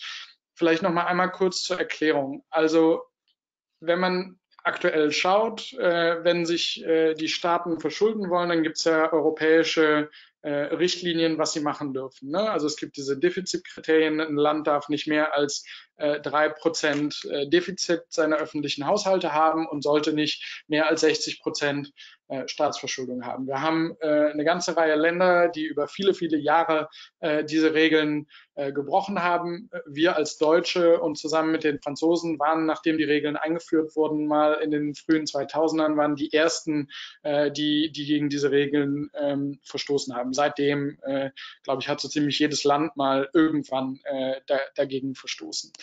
Ähm, nun ist es so, äh, alle möglichen Länder haben unterschiedlich hohe Schulden. Wir wissen, dass Italien äh, gerade zu, zu einem der Länder gehört, die, die die höchste Staatsverschuldung haben in Europa. Und wir haben in der Vergangenheit immer in Krisen gesehen, dass äh, wenn Länder mit hoher Staatsverschuldung dann noch zusätzlich in die Krise geraten, dass dann die Zinssätze, die sie bezahlen müssen, um sich noch weiter Geld zu leihen, äh, in die Höhe schießen und führt dann dazu, dass die dann also viel mehr Schwierigkeiten haben, sich zu finanzieren ähm, als andere Länder in der EU. Und dafür haben wir in der Wirtschafts- und Finanzkrise den europäischen Stabilitätsmechanismus geschaffen, der dann eben einschreiten soll, äh, um dafür zu sorgen, dass, dass also Länder nicht, nicht pleite gehen äh, oder überhaupt nicht mehr ihren Verpflichtungen nachkommen können, keine Renten, keine Krankenversicherung oder so mehr ausbezahlen aber immer verknüpft äh, beim ESM eben mit Auflagen für, für Reformen. Spannenderweise haben viele der Reformen, äh, die wir da in der im Zuge der Euro- und Finanzkrise eben durchgesetzt haben, in Griechenland, in Portugal, in anderen Ländern, äh, genau dazu geführt, dass sie jetzt ähm, diese Krise äh, mit Corona deutlich schlechter ähm, darauf reagieren können, weil wir eben gerade im Gesundheitssektor häufig auf Kürzungen, auf Privatisierung äh, und so weiter gedrängt haben, was jetzt heißt, äh, da ist jetzt weniger Kapazität.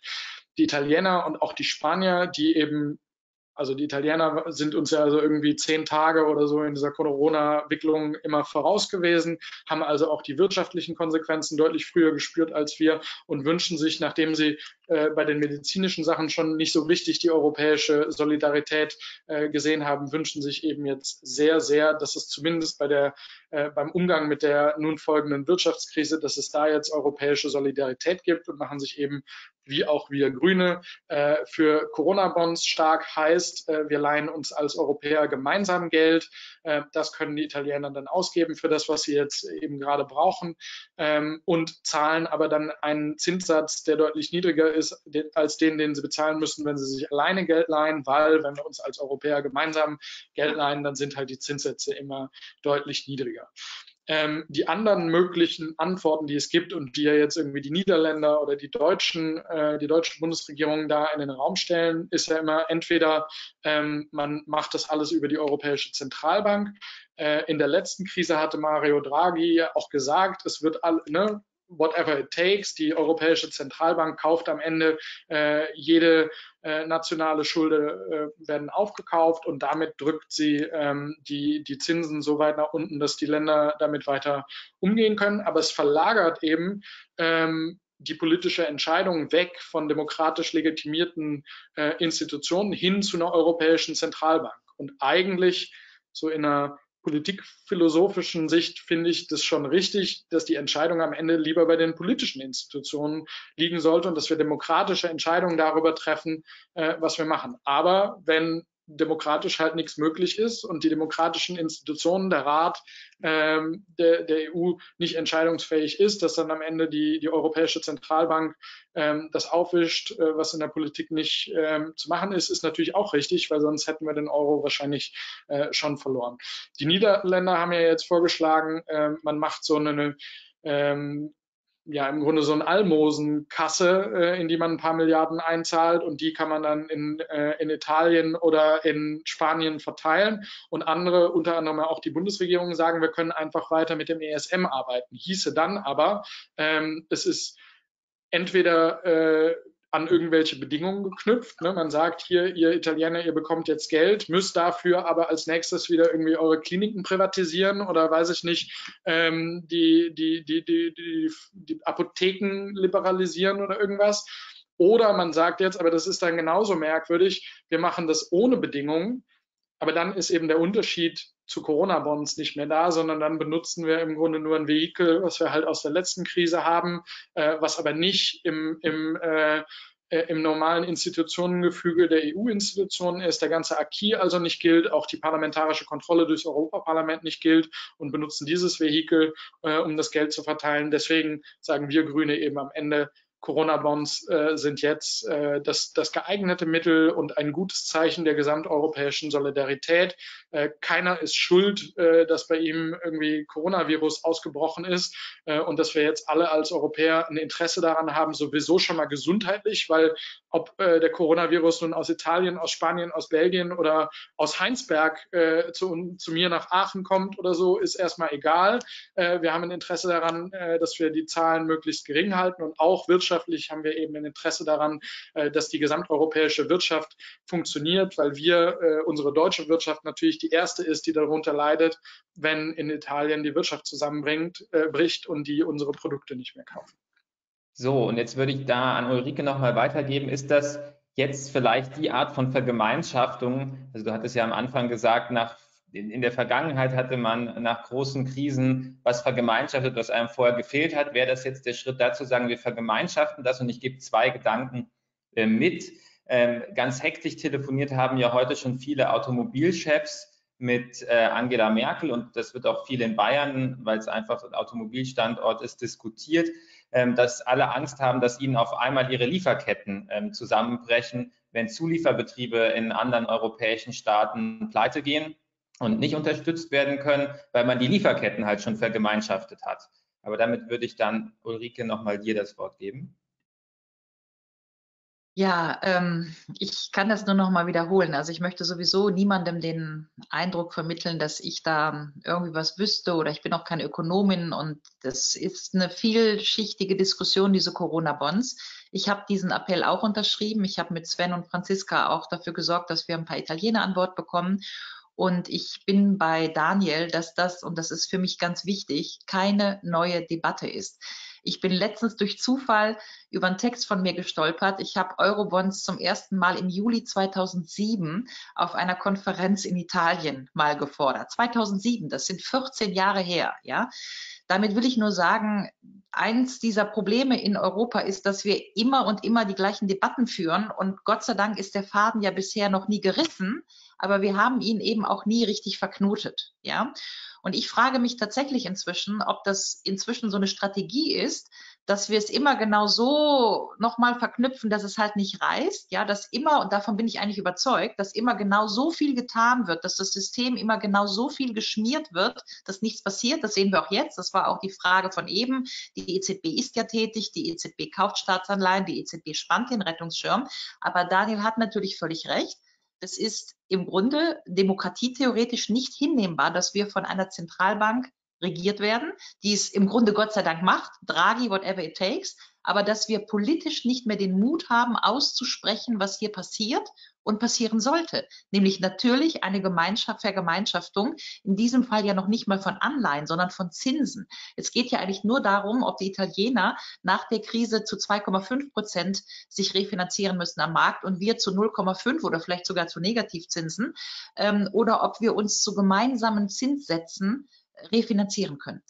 Ich würde gerne noch mal erwähnen dürfen, wie wir den Euro gemacht haben. Wir müssen ja auch nicht mit Corona-Bonds einsteigen und sagen, alles sofort zusammen, Bankenunion, es gibt nur noch Corona-Bonds. Aber wir haben ja damals in den 70er Jahren die nationalen Währungen gehabt und den EQ erstmal daneben gestellt, wie so ein kleines Hütchen, ja.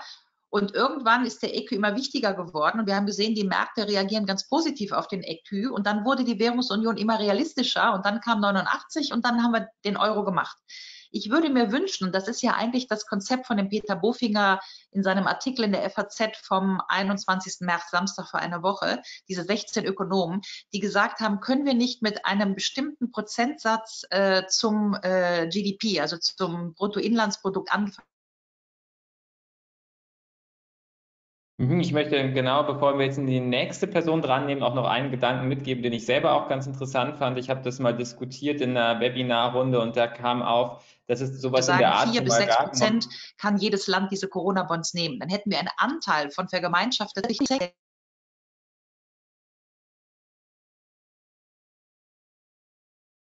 So, jetzt haben wir Ulrike irgendwie gerade verloren.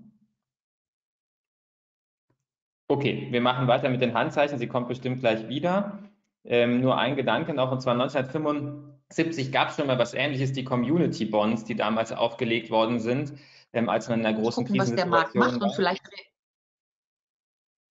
wir haben jetzt hier irgendwie gerade das, ähm, ich euch nicht mehr höre. Jetzt geht's wieder. Ja, okay. Was war deine Frage? Entschuldigung. Äh, nee, ich, ähm, du, du warst irgendwie auf einmal bei mir weg. Ähm, und, Ach so, äh, okay. Dann hatte, mach hatte, den Dank. Ja?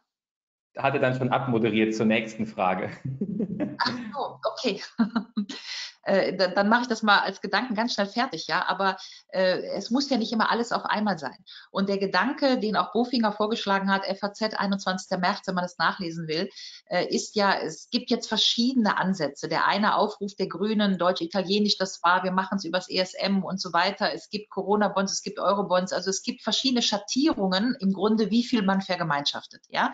Ich würde tatsächlich sagen, wir sollten beginnen mit Elementen der Vergemeinschaftung. Das wäre die Lehre aus der Krise. Wir sollten die Zinsen vergemeinschaften, äh, nicht für alle Bonds, aber dass wir uns orientieren, wie wir die Euro-Einführung gemacht haben und sagen, wir stellen Corona-Bonds oder meinetwegen Euro-Bonds. Ich finde das eigentlich auch so heuchlerisch, dass wir jetzt so von Corona-Bonds reden müssen. Ja, als könnten wir das nicht mehr aussprechen, dass es natürlich einfach äh, Euro-Bonds sind, ja, die in der letzten Diskussion vor zehn Jahren schon verbrannt wurden. Wollen wir denn, wenn wir die wirklich einführen, wollen wir 30 Jahre lang an den Finanzmärkten Corona-Bonds handeln? Also ich meine, Namen sind ja auch wichtig, ja. Aber gut, das war eine Fußnote. Trotzdem fände ich es schön, wenn wir sukzessive mit vergemeinschafteten Anleihen anfangen könnten und dass wir einfach mal sehen, das ist ja auch pure Marktwirtschaft, wie diese Anleihen bei BlackRock oder sonst wo ankommen und ob die vielleicht einfach am Markt gut ankommen. Und wenn sie gut ankommen, dann hätten wir auch ein Argument dafür zu sagen, hey, das ist doch ein gutes Ding, das können wir doch ausbauen. Und dann würden wir uns sukzessive in eine Vergemeinschaftung von Zinsen, Höhen von Zinsen und eben auch von gemeinsamen Anleihen begeben.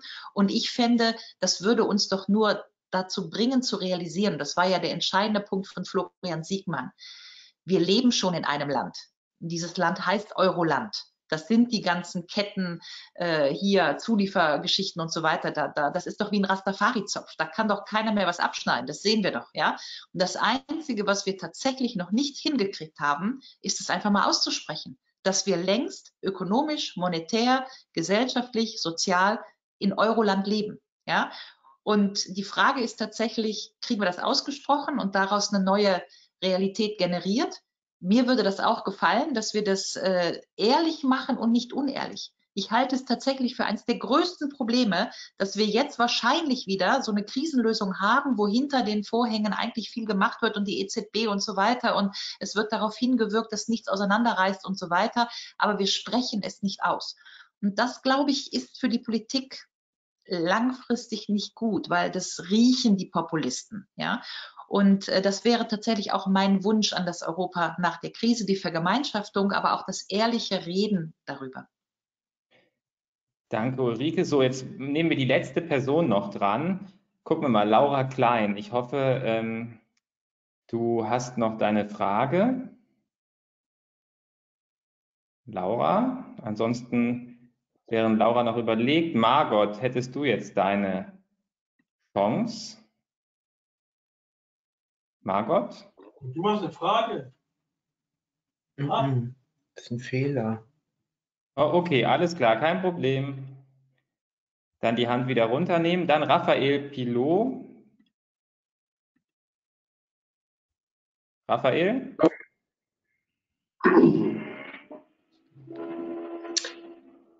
Nein, ihr Lieben, das war keine Frage, sondern am Anfang wurde gesagt, Hand hoch, wer schon im Webinar ist. Ah, okay, könnt ihr wieder runternehmen. Okay, dann machen wir einen letzten Versuch ähm, und probieren noch Harald Zimmerhacke-Monien aus. Harald, hörst du uns? Ah ja. Äh, hört ihr mich? Ja. Ihr hört mich. Also ich rede dann einfach. Ähm, ich habe ein bisschen so das Problem äh, in der Diskussion jetzt, man verstärkt sich Dinge, die eigentlich bekannt sind. Also, dass man, äh, dass die, die Staaten sich abschotten und so weiter und so fort. Ähm, das ist ja nun ein Problem, das ist alt und hat sich durch Corona noch verstärkt. Äh, was ich aber sehe, ist Folgendes. Wir leben ja eigentlich seit Jahrzehnten inzwischen von den ganzen billigen Produkten in China, Südostasien und so weiter, bei Handys, wir haben das Problem mit den Arzneimitteln und so weiter und so fort. Äh, die absolut unsoziale und unökologische Produktion, die dort herrscht, ja, das absolut gegen unsere Auffassung ist. Ja. Äh, mein äh, Ding, was ich sagen wollte, was wir als Grüne entwickeln sollten auf europäischer Ebene, ist ja unsere eigene Auffassung. Da würde ich auch der Ulrike ein bisschen widersprechen, die vorher gesagt hat, also dass äh, äh wir ja gucken müssen, dass äh, der Lindner und andere äh, ganz andere Vorstellungen haben. Wir müssen unsere eigenen Positionen entwickeln. Und dazu gehört zum Beispiel Regionalisierung. Wir werden eine riesige Wirtschaftskrise auf uns zukommen. Die wird auf uns zukommen. Es ist eigentlich inzwischen schon klar. Die 5% Rezession, die Altmaier jetzt nennt, halte ich für äußerst optimistisch. Äh, deswegen, äh, und dann werden wir einen Haufen Arbeitslosigkeit bekommen. In dieser Situation ist es wahnsinnig, da werden Wertschöpfungsketten wegbrechen, über die vorher diskutiert worden ist. Ja, das heißt, wir werden dann sehr darauf angewiesen sein, regional zu produzieren, sozial und ökologisch. Und da sollten wir unsere Konzepte entwickeln. Ja, wir sollten Audits entwickeln in, auf europäischer Ebene gegenüber äh, China und anderen Staaten. Also soziale und ökologisch, dann können die, die nicht mehr so billig produzieren. Das ist eigentlich eine alte Vorstellung, die wir haben. Ja? Wir haben den Punkt, wir müssen nur mit Blick auf die Uhr, wenn wir noch zur Beantwortung kommen, jetzt anfangen. Richtig, okay, gut. Also ich, äh, ich stoppe ab. Aber ich glaube, es ist klar geworden, was ich meine. Ja. Und ähm, ich äh, werde mir vielleicht rausnehmen, weil du gesagt hast, regional zu produzieren, äh, die als erstes zu antworten. Ähm, auch mit Blick vielleicht nochmal auf den Binnenmarkt und die, die Frage, was soll der, äh, was eigentlich der Mehrwert davon? Also das ist natürlich kein Selbstzweck und natürlich sollte ein Binnenmarkt in der Europäischen Union und dann auch im Außenhandel nicht dazu führen, dass man Sachen transportiert, dass man ähm, Klimagase freisetzt, wo es nicht notwendig ist, ähm, sondern sollte so ausgestaltet sein, dass er am Ende natürlich dem Menschen und in letzter Konsequenz dann selbstverständlich auch der Umwelt dient. Und das ist natürlich was, das wir in so Bereichen wie Vergaberecht, äh, wo es um Ausschreibung geht oder Beihilfen, wo wir uns natürlich auf Landesebene ganz viel mit beschäftigen, um zu schauen, wie kriegen wir das eigentlich zusammen, ähm, dass das lokal am Ende Mehrwerte erzeugt, aber trotzdem europaweit auch irgendwie im Wettbewerb miteinander funktioniert. Aber vielleicht nehme ich die Frage auch so ein bisschen im Hinblick auf Zukunftsvisionen entwickeln, dann mit in die Abschlussrunde. Wir haben nämlich noch sieben Minuten und äh, würde dann würde dafür gerne ähm, Daniel und Ulrike jeweils nochmal das Wort geben. Und Ulrike, dir gebe ich noch eine Frage mit äh, wie gestellt worden ist, müsste man die europäische Staatsbürgerschaft nicht noch inklusiver stellen,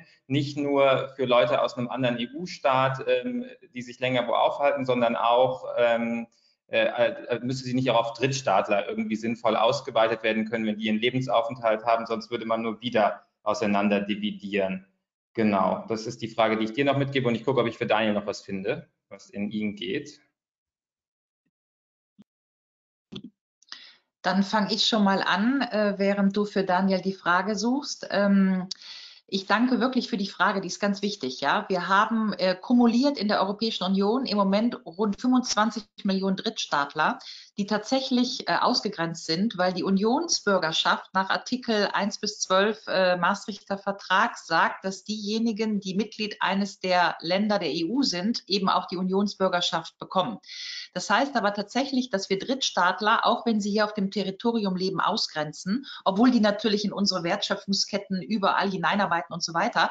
Ich kann das hier nicht ausführen, aber ich möchte dringend verweisen auf das wirklich ausgezeichnete Buch von Etienne Balibar 2003, Sind wir Bürger Europas? Wenn Sie sich das kaufen und lesen, äh, das ist das Beste zum Thema.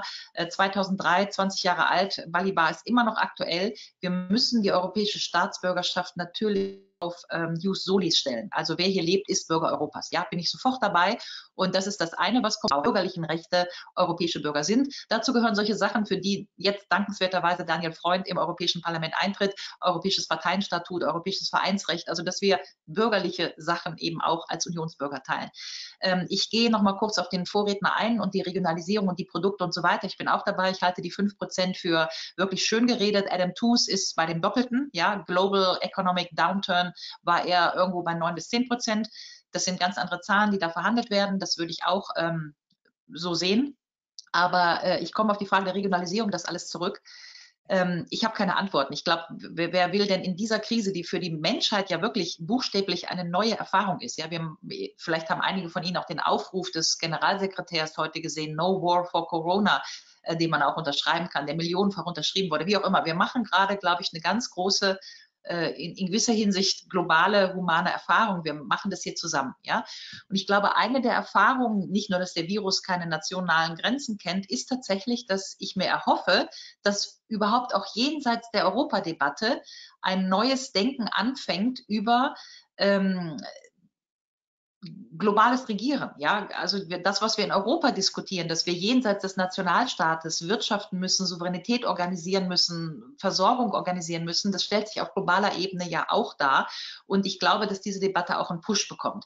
Und da kommen die Regionen insofern rein, als dass ich tatsächlich auch der Überzeugung bin, dass das, was wir gerade erleben, würde man, also wenn man so vor 40 Jahren Politikwissenschaft studiert hat, würde man sagen, was wir gerade erleben, ist, dass der Überbau zusammenkracht. Ja, also alles, was gestern nochmal unsere Institutionen waren, äh, die NATO, keine Ahnung, die EU, wie auch immer, das ist alles mehr oder weniger handlungsunfähig und wir sehen, dass das am Ende, was zählt, ist vor Ort, was da ist. Ja, und wir sehen die Fragilität der ganzen anderen Sachen, der Lieferketten und so weiter wie wir das bewerten werden und was davon die Lösung ist und ob die Lösung dann ist Autarkie. Ich muss gucken, dass ich in meinem regionalen Bereich sozusagen alles rückführe. Ja, ist ja die eine Reaktion, die wir jetzt schon sehen.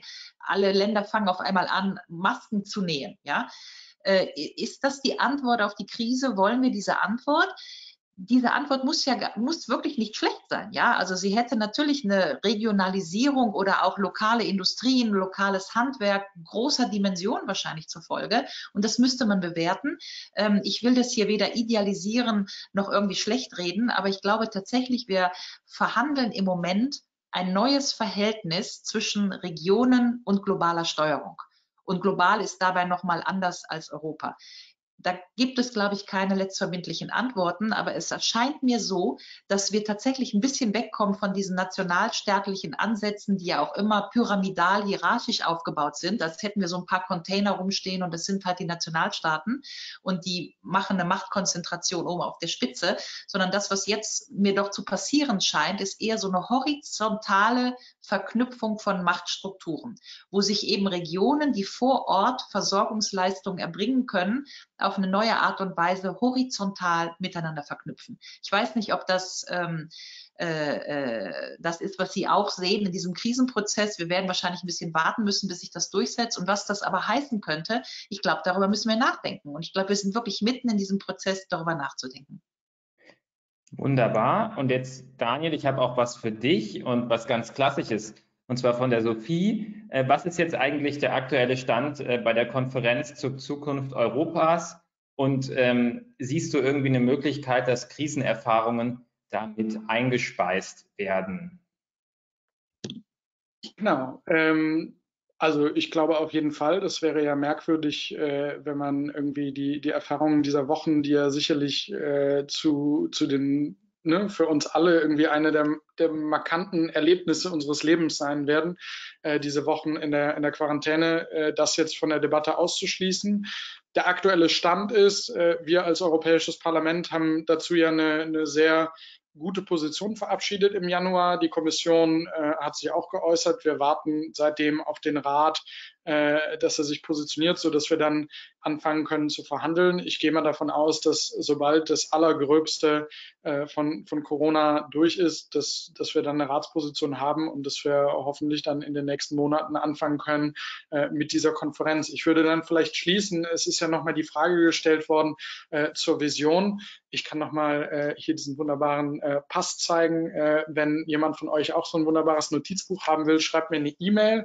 Ähm, ich würde die, die Vision immer so zusammenfassen, äh, dass ich mir wünsche, dass wir mit der Europäischen Union in den nächsten Jahren dahin kommen, dass sie äh, die, die großen Fragen unserer Zeit äh, beantworten kann. Ne? Dass wir die Union in, in eine Position bringen, wo sie äh, einen, einen ordentlichen Beitrag leisten kann zum Klimaschutz, dazu, dass Großkonzerne Steuern zahlen, dass wir eine, eine, eine starke Stimme in der Welt haben, dass wir mit Digitalisierung äh, umgehen da, da müssen wir hin und dass wir ein Stück weit dann das, was wir aus nationalen Systemen kennen, wie Politik gut funktioniert, äh, dass wir genau das auf europäischer Ebene eben genauso machen, dass sich ein Stück weit im Grunde Politik in Europa normalisiert und nicht mehr, dass wir wegkommen davon, wie es oft eben noch ist, dass der Rat irgendwie so eine äh, Diplomatenkonferenz aus den äh, 1950er Jahren so ein Überbleibsel ist. Ähm, das ist, glaube ich, das, wo, wo, wo wir hoffentlich hinkommen und dafür brauchen wir euch alle, dafür brauchen wir die Bürgerinnen und Bürger, die, die Druck machen ich bin da sehr positiv. Ich finde diese Erfahrung der letzten Europawahl im letzten Jahr mit der höchsten Beteiligung, die wir je hatten und so einer positiven Stimmung in ganz Europa, ähm, dass Leute Europa wollen und eine Veränderung in Europa wollen. Ich glaube, das irgendwie zu kanalisieren in so einen Veränderungsprozess, das ist das, äh, was wir in den nächsten Wochen, Monaten äh, wieder, wieder anschieben. Ähm, genau, vielleicht soweit für die Vision. Kann ich dann noch einen Satz sagen, weil das, was Daniel gesagt hat, ist großartig and I like it. Und, und ich habe schon so einen Pass, ähm, großartig, bedanke mich für die Initiative Federal Republic of Europe. Ich würde gerne zum Abschluss wirklich ein Zitat geben, das ich durch Zufall gefunden habe von Max Weber von 1912, als ich in München letztens in der Bibliothek war. Max Weber hat 1912 auf dem Deutschen Soziologentag ähm, auf die Frage, was ist eine Nation, gesagt, so kann man, aus dem Kopf zitiert, so kann man als Nation doch nur eine Gruppe von Menschen bezeichnen, die aus einer Gefühlslage heraus beschließt, einen Staat aus sich hervorzutreiben. Und ich würde mich wirklich freuen, wenn diese Corona-Krise für uns jetzt die Gefühlslage ist von 500 Millionen Menschen auf diesem Kontinent, dass wir jetzt einfach mal beschließen, wir treiben einen Staat hervor. Ich habe übrigens heute gerade die englische Übersetzung mit dem Übersetzer gemacht. Der hat, es gibt kein Wort für hervortreiben. Ja, auf Englisch muss man das producing a state nennen. Das treibt nicht ganz um, weil das deutsche hervortreiben ist ja viel organischer, wie so eine Sprosse, die so aus dem Baum kommt. Aber das würde ich gern zum Abschluss mitgeben ähm, das, was Daniel gesagt hat, wenn wir das alles haben wollen, die Handlungsfähigkeit in der Welt, den Auftritt und so weiter und so fort, dann würden wir das aussprechen müssen, dass es um europäische Staatlichkeit geht. Wir können übrigens auch eine europäische Bürger sein, wenn wir einen europäischen Staat haben, weil ohne Staat keine Bürger. Und ich würde einfach mir wünschen, dass wir uns ein bisschen nackig machen in dieser Debatte und diese Dinge einfach mal aussprechen. Deswegen freue ich mich so über diese Passinitiative von Daniel. Vielen Dank, Ulrike. Und ähm, ich sage euch beiden Danke, dass ihr heute beim Webinar dabei wart. Ich weiß, dass noch viele unausgesprochene Fragen im Auditorium sind, äh, die wir jetzt alle nicht dran nehmen konnten, weil sich immer noch über 20 Menschen melden und ich immer noch ganz viele Fragen habe. Aber ähm, wenn ihr gerne noch eine Antwort auf eure Frage habt, dann scheut euch nicht, mir oder Daniel auch noch mal eine Mail zu schreiben. Wir sind als Abgeordnete natürlich auch dafür da, ähm, Anliegen äh, zu beantworten, uns damit zu beschäftigen, kommt auf uns zu. Ähm, wir machen das gerne und ähm, sagt danke, dass ihr alle dabei wart, dass Sie alle dabei waren und wünsche jetzt noch einen schönen Abend.